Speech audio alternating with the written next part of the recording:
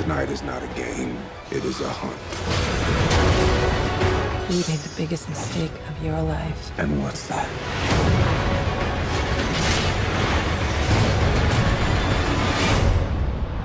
Underestimating who I am.